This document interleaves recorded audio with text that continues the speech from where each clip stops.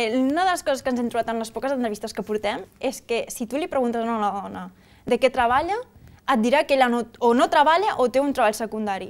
En el moment que intentem uh, rascar la seva vida i comencem a aprofundir, dius, oh, és que jo, per exemple, treballava, no sé, de cambrera o treballava a casa, no? perquè també és una feina, cuidant els nens, portant-la a casa. I les hores lliures que tenia, que no tenia els nens a casa i que tenia les feines fetes, jo remandava. Però elles no ho veuen com una feina.